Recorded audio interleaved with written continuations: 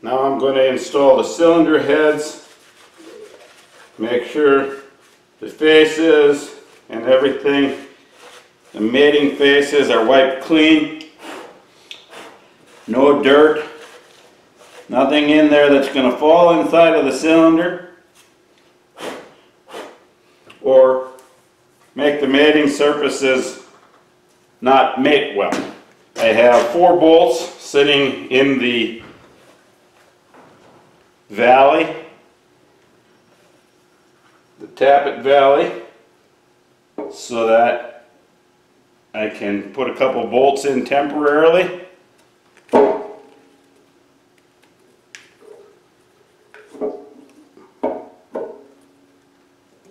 Just to hold it so it doesn't drop.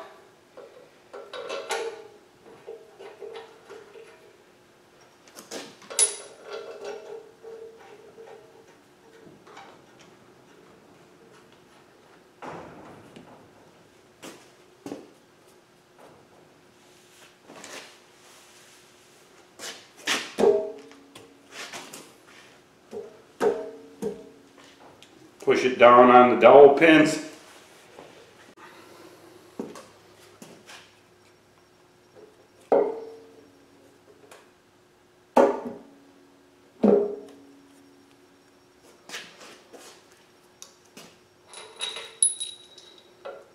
Again,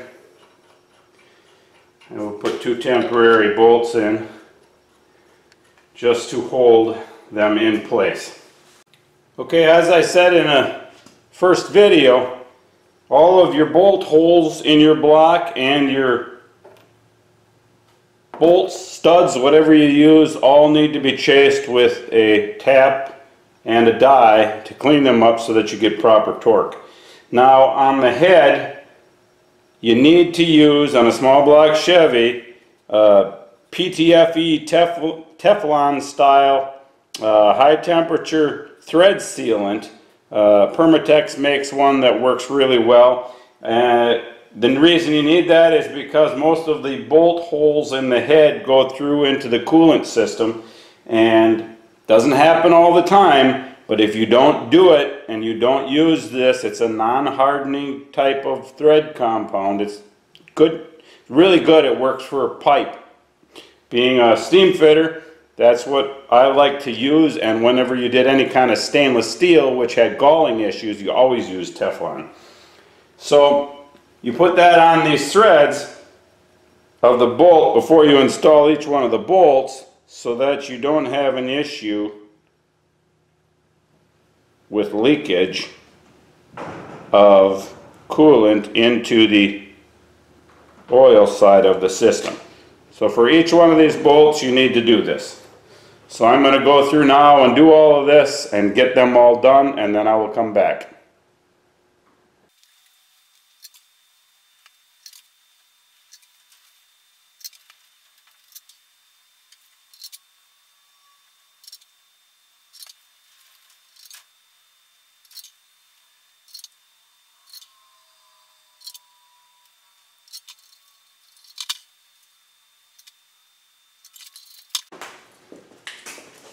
Now you got to watch as you're pulling this down so that everything is going in square and straight and everything's down on your dowel pin.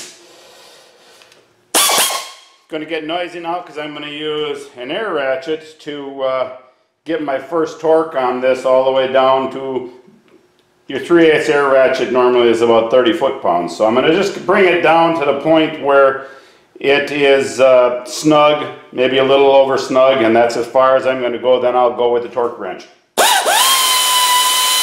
I'm going to do it close to being in sequence of torquing. Basically, from the inside to the outside, I'm going to work it.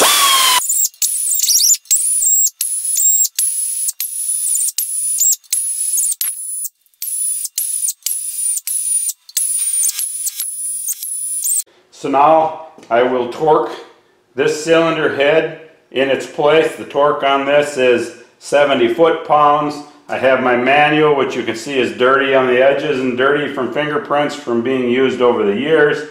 I have my manual right here with my torque sequence right in front of me. so I know what sequence to go in.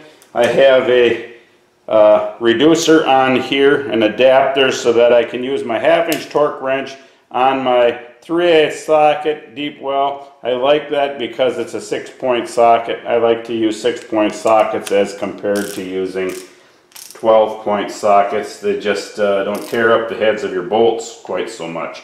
And I realize this extension adds a little bit, throws my torque off a little bit. I just, uh, I'm not that concerned about it.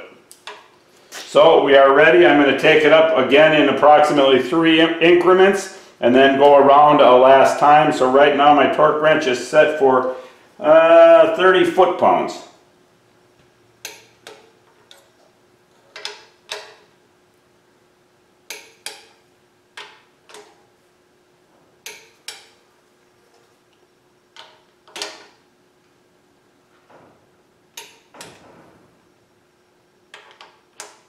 Well, I screwed up my torque sequence already. I gotta stop looking at this big block one on the top side here. I need something to put over the big block one so I don't look at that. Okay, I'm at number five, which is right here.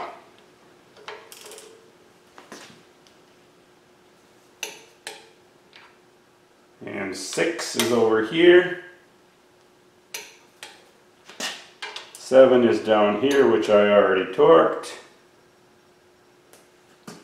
Eight is down here.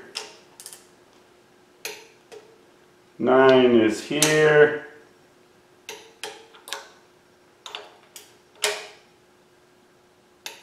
Ten.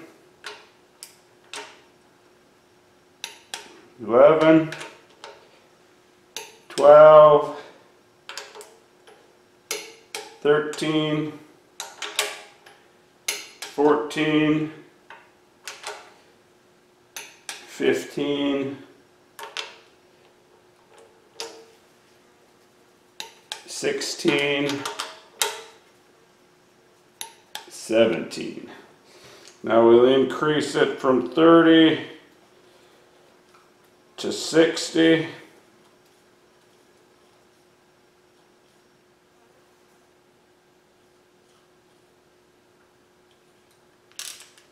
We'll go around again, starting with one.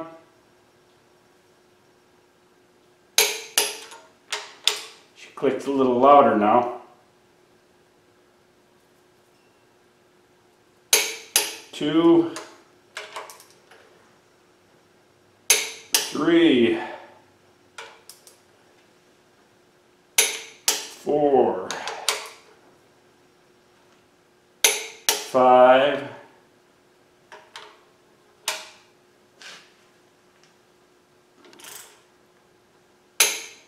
six, seven,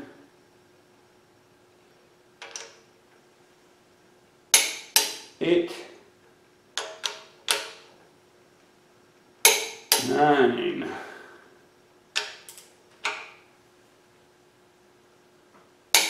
ten, eleven,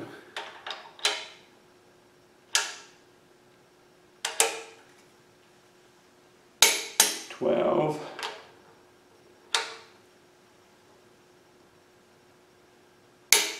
thirteen, fourteen, fifteen, sixteen, seventeen. And now we'll take it up to 75, which is my final torque.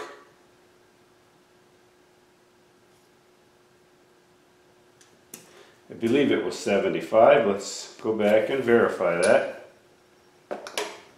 Can't remember now if it was 70 or 75. It is 70. So we will take it down to 70. Going back to 1.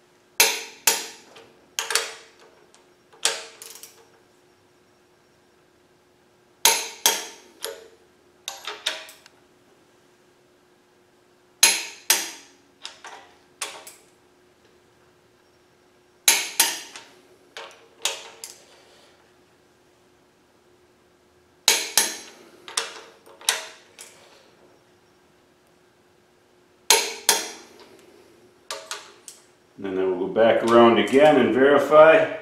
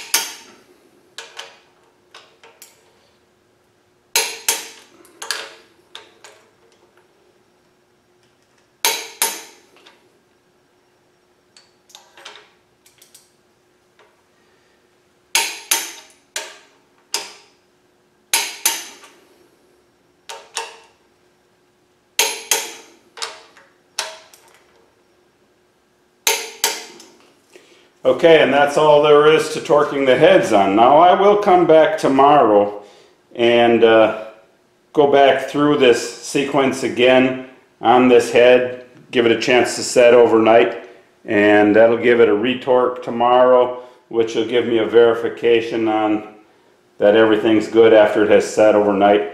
Basically do exactly the same thing on the opposite head, and uh, that'll get you through.